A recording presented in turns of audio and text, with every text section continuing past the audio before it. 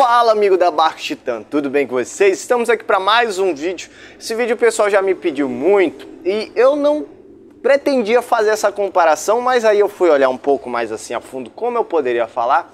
Realmente dá para eu estar comparando o motor 40 HP dois tempos da Yamaha com o motor 40/50 HP dois tempos da Mercury. Então bora dar uma olhada.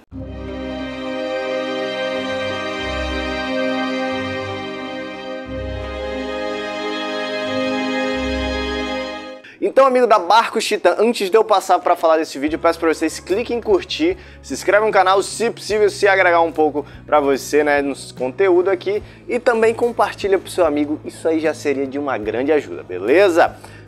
Bom, este vídeo é igual ao vídeo que eu fiz a comparação dos dois motores 250 também da Mercury versus Yamaha, que um é V6 e um era V8. E aqui a gente tem a mesma lógica. Nós temos dois motores de construções diferentes. E eu vou estar utilizando aqui para fazer uma comparação bem simples para vocês. É a mesma coisa hoje que nós compararmos um carro 1.6 aspirado. Vamos pegar o HB20 que tinha essa versão antes. O HB20 tinha a versão 1.6 aspirada e 1.0 turbo, né? Então, tendência era o que? 1.6 era um motor um pouco maior, era um motor que era mais robusto, era um motor que tinha tendência de quando tinha mais pessoas dentro conseguir ainda desenvolver sua velocidade sem perder tanto. Era um motor muito interessante e a gente tinha 1.0 turbo, mais econômico, tinha uma arrancada melhor e tal e tal. Isso tá ligado quem é 1.6, quem é 1.0, o da história? Não, nenhum deles é 1.6 ou 1.0 da história. A tendência é que são duas era o mesmo carro com dois motores diferentes que depende do público, cada público tinha um gosto. E aqui é a mesma coisa, nós temos dois motores de mesma potência, porque o que que gera dúvida quando você olha isso aqui para mim, né? Lucas, o motor tem a mesma potência, porque ninguém chama o motor de tipo assim, ah, me vê um, sei lá, fala o nome do motor, é a 88 da, da Volkswagen e ninguém fala o nome do motor, entendeu? Do carro. Então, a gente já fala a potência do motor de polpa. Isso gera dúvida, porque 40 contra outro 40 é 40, né? É. Nenhum dos dois motores está mentindo para vocês. O 40 Yamaha desenvolve 40 HP de potência, o 40 Mercury desenvolve 40 HP de potência. Porém, nós temos o Yamaha uma concepção mais simples e robusta, eu já lhe adianto. Temos teoricamente o mesmo peso, vamos jogar aí 70 quilos para ficar mais fácil. Não vou ficar falando pezinho bonitinho, ah, um tem 71,3, o outro tem 73. Não, 70 quilos mais ou menos nós temos o motor, ou seja, mesmo peso, nós temos a mesma cilindrada, entre aspas, a Mercury tem um pouquinho de cilindrada a menos. Porém, o Yamaha ele é dois cilindros, tá bom? Ele possui dois pistões trabalhando com um fluxo de somente um carburador, entendeu? Enquanto o Mercury, nós temos três cilindros funcionando, lá funcionando aqui, ó, pou, pou, pou, pou, com três carburadores, um fluxo de três carburadores, tá bom? Não vou entrar em questão de bobina, nada dessas coisas. Então vocês já viram que são dois motores de construção diferentes, que geram a mesma potência, que tem o mesmo peso, ou seja, a gente tem a mesma relação de peso e potência para gerar mais dúvida ainda para você. Vamos agora falar do quesito que todo mundo quer saber, né? Então, com certeza quer saber do preço, né? O preço, logicamente, eu não vou enrolar para vocês, o Yamaha é mais barato porque, logicamente, a vida é assim. Tudo que é tecnologicamente de concepção mais simples vai ser mais barato porque a sua fabricação é mais barata.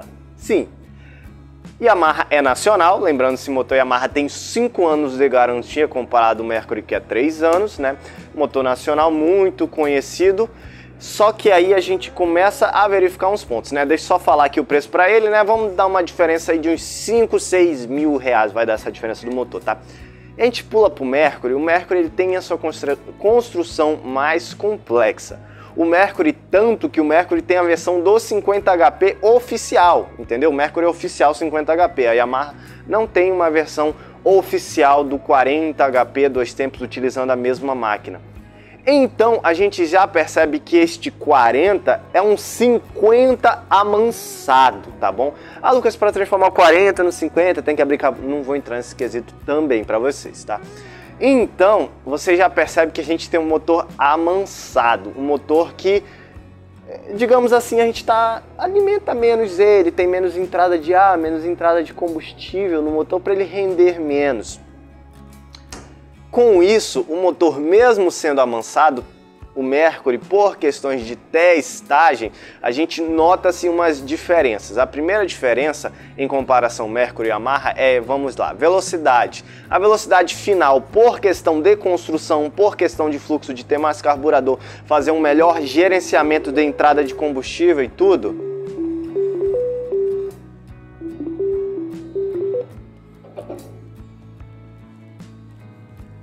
Então, no quesito de velocidade final, que vocês vão estar perguntando, o Mercury, por ter três cilindros, a sua construção de três cilindros, três fluxos de carburador, ter o mesmo peso e tudo, tem um tende, tem a tendência no mesmo casco, com a mesma hélice, porque não adianta você vir comparar, Lucas, o barco tal com o barco tal. Não, um barco tal com um barco tal pode ter o mesmo peso, mas tem hidrodinâmicas diferentes muitas das vezes. Então, no mesmo barco, 50 H, perdão, o 40 HP Mercury vai ter um desenvolvimento de velocidade final maior. Agora, transporte de carga. O transporte de carga, a Yamaha, por ter uma concepção de dois cilindros, ou seja, igual falei lá no vídeo 250 e o 250 V8, né, quanto V6, os dois cilindros têm, digamos, a mesma cilindrada, 700 cilindradas, ou seja, cada cilindro tem 350 cilindradas entendeu? Então, cada cilindro, a compressão dele a explosão é mais forte do que a de três cilindros. Ou seja, ou seja, de maneira mais simples, ele vai ter uma tendência de lhe entregar força, né? Que é o torque, lhe entregar força em mais baixa rotação. Ou seja, sendo um motor que lhe entrega mais força mesmo, uma robustez de força maior você vai sentir no 40 HP da Yamaha. Em questão de robustez de mecânica, bom, a gente tem muito mais 40 HP Yamaha no mercado comparado ao Mercury por N questões. Por exemplo, a principal é preço, né? Logicamente, muita gente hoje que está vendo os motores tanto para velocidade e tal, viu que o Mercury tem esse interesse, né? Um motor bem bruto e leve, né? Para andar tanto assim. Então, como a gente tem mais motores Yamaha no mercado, a tendência desse motor, principalmente por ele ser nacional, nacional também, é ter mais peças esse motor. Mas em questão de Lucas, dá pau esse motor e tal, quem que dá mais pau? Bom, realmente não tem para onde correr. O 40 Yamaha dois tempos, parece, bicho, é um trator, é um tratorzão e quando eu digo que é um trator, porque o que, que o brasileiro gosta? O brasileiro gosta de perguntar o que, que dura mais para ele poder negligenciar a manutenção, entendeu? Sabe aquele seu carro turbo que você diz que dá pau no turbo? Você sabe qual óleo você está utilizando? É o mesmo óleo de especificação do manual ou é o óleo mais barato? Algo que é na concessionária é cara. Pega o carro que faz revisão tudo fora e na concessionária. Se não for um problema crônico, geralmente o da concessionária dura mais, porque aquele diferençazinha no óleo, aquela sintéticazinha no óleo diferente, aquele óleo melhor, às vezes a correia banhada no óleo do motor e tudo. Então essas diferençazinhas a mais faz o seu carro durar mais. E a mesma coisa do motor de polpa, o cara pensa, bom, então eu vou pegar esse aqui que é mais robusto porque eu vou jogar qualquer coisa nele. Eu entendo você que é do interior que não tem acesso a peças fácil. Agora você que tem acesso a tudo isso de maneira fácil e reclama, não, aí a culpa não é de nenhum dos dois motores de nenhuma marca. É sua, tá bom? Outra coisa é a economia, né? Bom, a economia dos dois motores, eu já falei muitas vezes o pessoal comenta, ah, Lucas, é mentira. Não, gente, economia é algo muito relativo. Mas como eu falei, por que, que eu falo, quando eu falo, ah, o 40 HP dois tempos da Yamaha bebe quase 20 litros por hora? É para não assustar você, por que, que eu falo jogo lá em cima? Porque se o cara compra e ele bebe 15, o cara vai ficar muito feliz.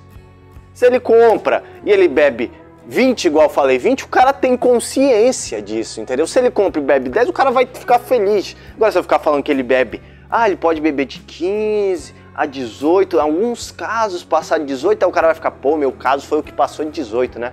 Por isso eu falo, economicamente, a economia do motor, por ter um melhor fluxo, isso tudo reguladinho, o Mercury vai ter uma economia melhor de combustível, sim, entendeu? Então, vamos não alongar tanto o vídeo, dar um veredito aqui para vocês. Qual que esses dois é melhor? Vocês já viram que são dois motores diferentes, de dois públicos diferentes, não adianta eu falar qual é o melhor.